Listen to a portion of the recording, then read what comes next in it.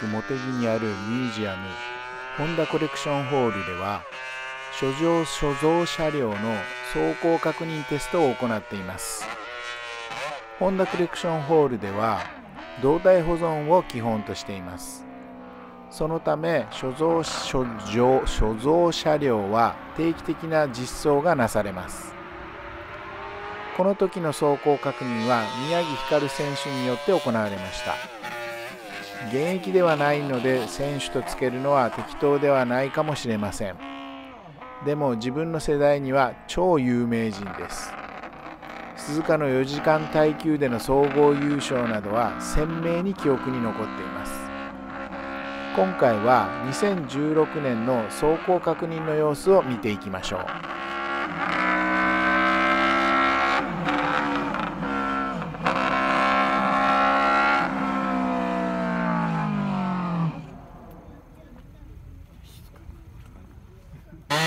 走行車両の記録は取っていないので資料に書かれている通りになるのでひょっとしたら社名は間違ってるかもしれません、えーと、走っているのは RC116 だと思います。排気量 49.8cc の空冷4ストローク2気筒 DOHC4 バルブとこういう風になります。でカムはカムギアでトレインされています。まあ小型の排気量ゆえにそのエンジン音は高周波というか、まあ、快音というのがふさわしいものだと思います。甲高いエンジンの音が排気音がというべきですかね。えっと茂木の山々にこだまするのがわかるかと思います。ちょっとエンジンの分かる人には分かることですけれども 50cc で2気筒ということは1気筒あたり 25cc しかありません。排気量が。たった 25cc しかない2気筒のエンジン多気筒化っていうのはまあ流行ったとはいえこれを現実のものとしてレースに参戦してしまうホンダってもう本当にすごいというか超精密機械と言っても過言ではないと私は思います。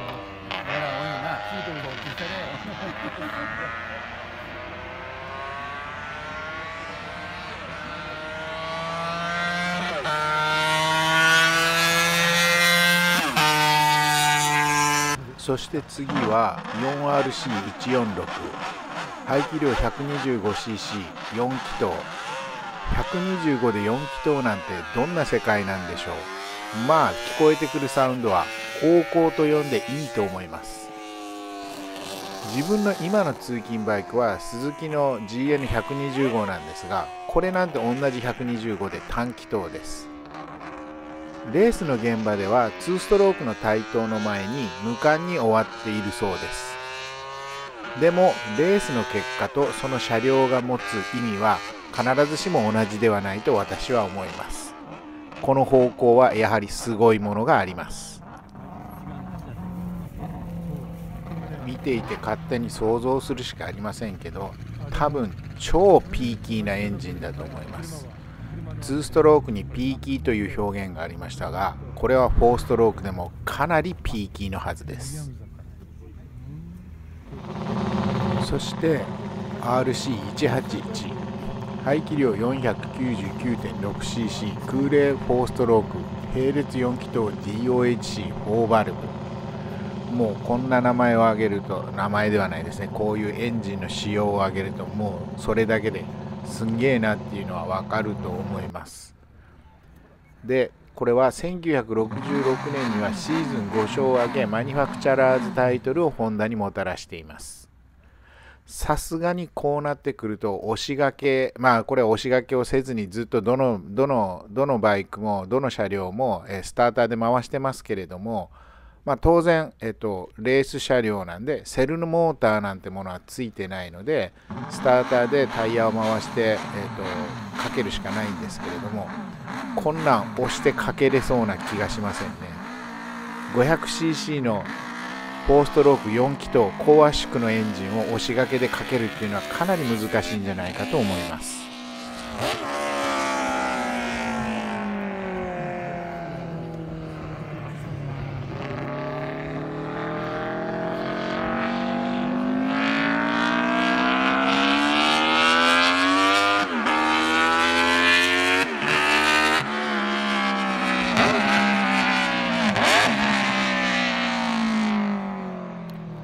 排気量がありますからやっぱり、えーと、高音周波の高音ばかりではなくやっぱり低音の魅力というか低音も間にちゃんと入ってきます。でもやはり高回転まで回した時の音はまあ方向というか叫んでいるという表現が本当に当たるかと思います。ちょっと排気量が大きい4気筒だとこういうエンジンの音になります。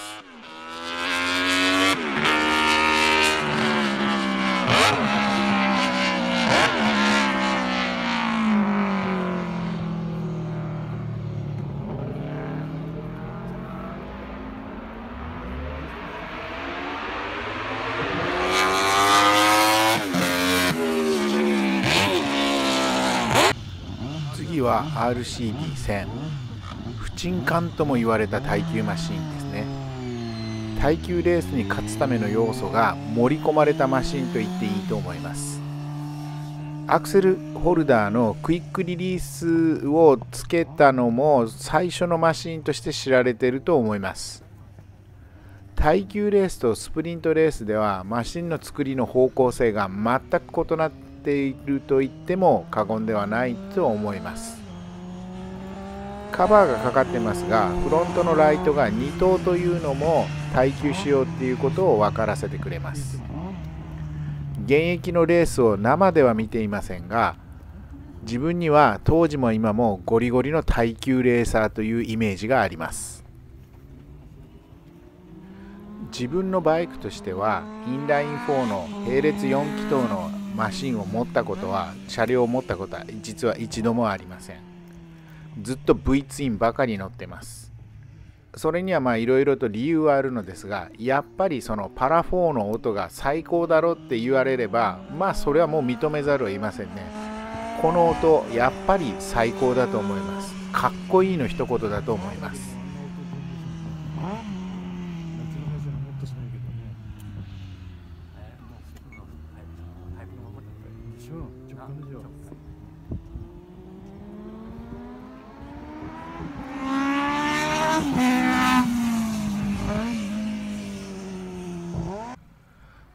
まして RVF750 ここまで来るとその現役のレースを自分も見ています。見たことがあります。バイクの世界では型式名が有名になったものの一つとして VFR750R があります。その型式名は RC30 なんですけれどもこれは RC30 という呼び方よりも自分には RC30 という呼び方の方がしっくりくるような気がします。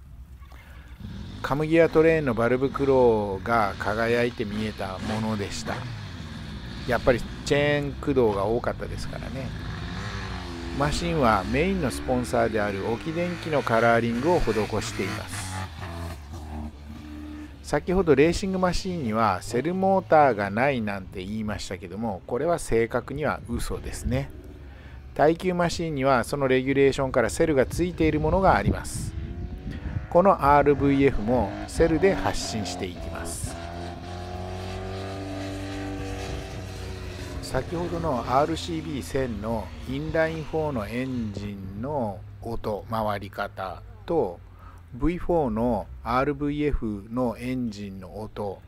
これはよく聞けばもう明らかに違うことは誰の耳にも分かることですけれども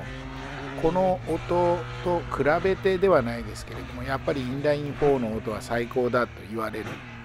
ことはこういうところかと思います。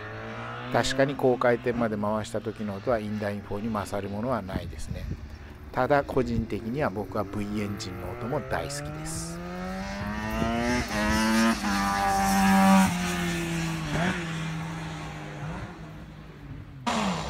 次は CB500 空冷4ストローク4気筒 OHC の3バルブということです。まあエンジンがバレていてライダーの宮城光さんも手こずっていますね。マルチのエンジンで気筒間のバランスが取れていないとスムーズには高回転回って回ってくれないのでしょう。なかなか乗るのが難しかったと思いますけれども最後にはエンジンがストールしてるんじゃなかろうかと思います。やっぱりこう動態保存でちゃんと動くように保って整備をするっていうことはすごく難しいことなんですね。これをやっていることに私はすごく敬意を表するべきだと思います。続いて RS125 だそうです、えー、水冷2ストロークの短気筒エンジンですね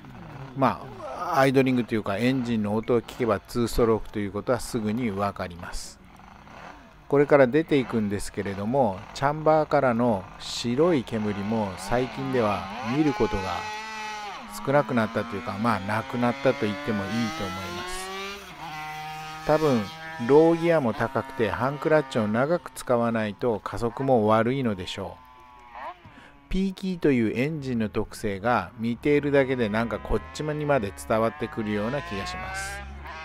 当然一足ローギアのギア比も高いのでしょう。でも回したツーストの音これも本当にたまらないと思います。やっぱり2ストロークのエンジンっていうのはいろんな意味でその行動ではなかなかもう乗れないのかもしれませんけれどもやはり機械的歴史的価値ということでこれは確実に保存すべきものだと思います。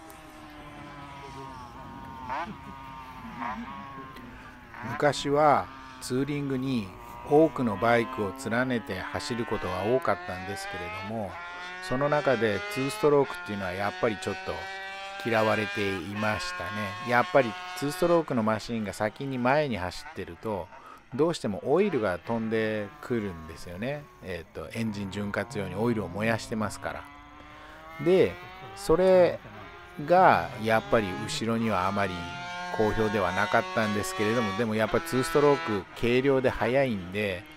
やっぱり先に行っちゃうんですよね。なかなか面白かったのを思い出します。そういうことを考えるとなかなかこうマスツーリングで2ストロークっていうのは非常に難しいのかもしれませんね。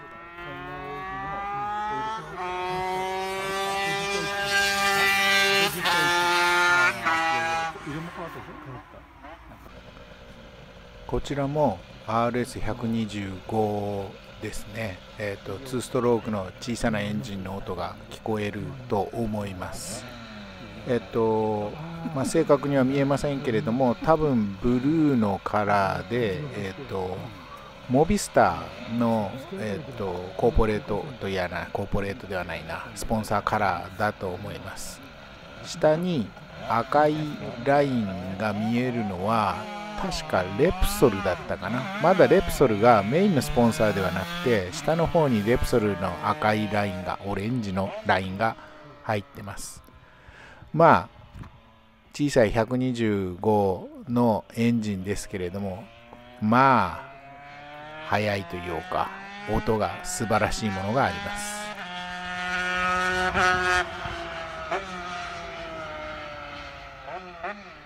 2ストロークのエンジンの音っていうのこれもまあ好き嫌いはあるのかもしれませんけれどもやっぱインライン4最高 4, 4ストロークのインライン4最高っていう人もいますからねでもやっぱり2ストロークの小さなエンジンを高回転まで回した時のあの高周波のまあ雄たけびというか叫びみたいなものはやっぱりかっこいいと単純に思ってしまいます。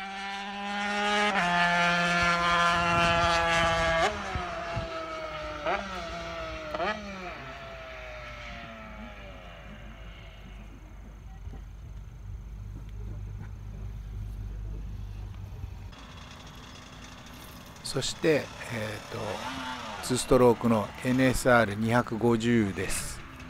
カウルはスポンサーのロスマンズカラーをまとっています。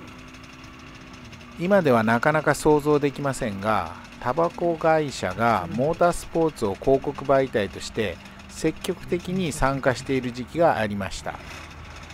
ロスマンズといえばホンダ。ホンダからブルーのロ白とブルーのロスマンズ。ハーベイといえばスズキ黄色と赤のスズキとまあある程度決まってたんですけれどもまあちょっと特殊なのがラッキーストライクと言えるかもしれないですね。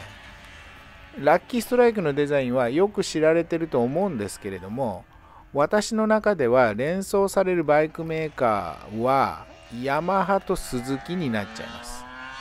まあどちらも有名だったのでどちらのメーカーまあメーカーというよりもひょっとするとライダーの顔を思い浮かべるかもしれませんね。が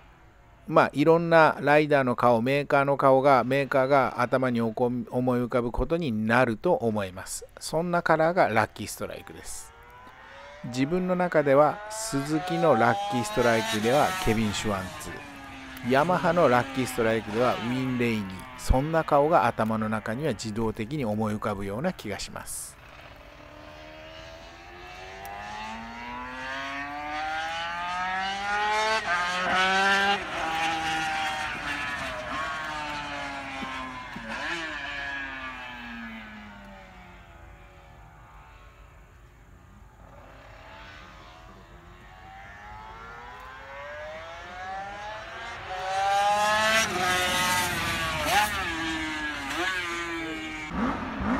続いてホンダのコレクションホールの4輪が出てきます。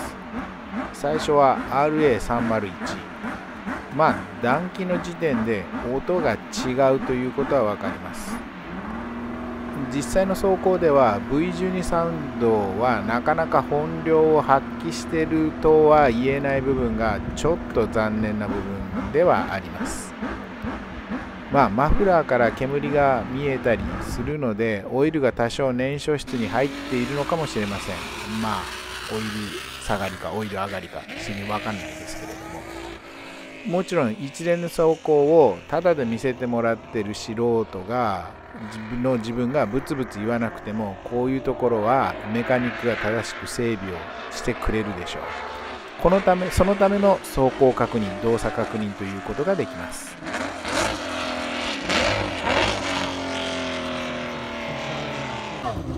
そして最後はホンダコレクションホールの MP4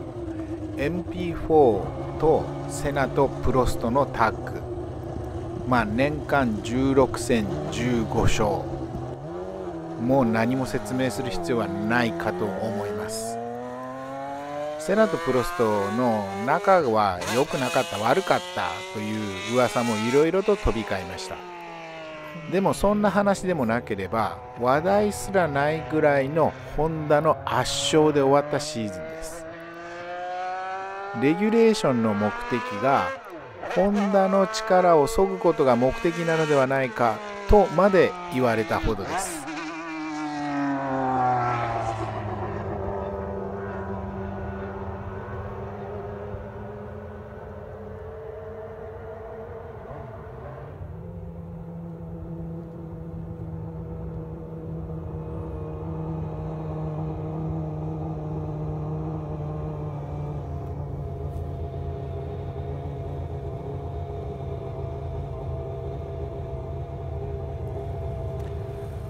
のマクラーレンの MP4 は一周回ってきて一応ピット前で一旦停止して、えーと、外観のチェックが入ってますね。オイル漏れとかいろいろあるんだろうと思いますけどそういうものをチェックして問題がないことを確認して、えーと、と出ていきます。これからアクセルを大胆に踏んでくれるのではなかろうかという期待感が高まります。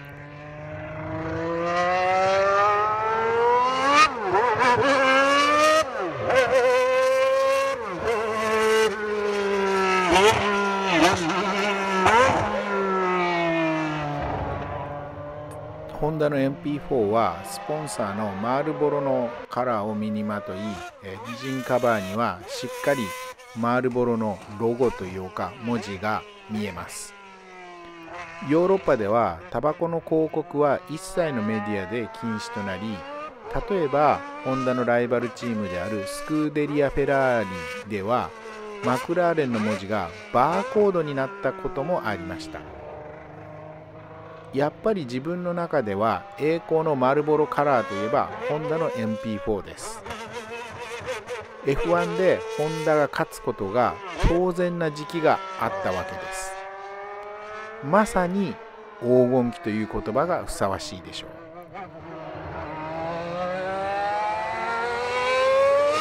あ あ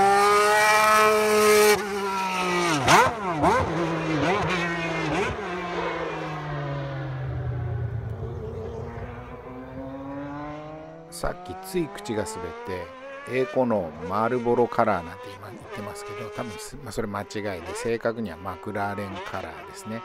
マルボロのロゴがエンジンカバーに載っているということです。まあどのみちすごいに間違いはないんですけれど。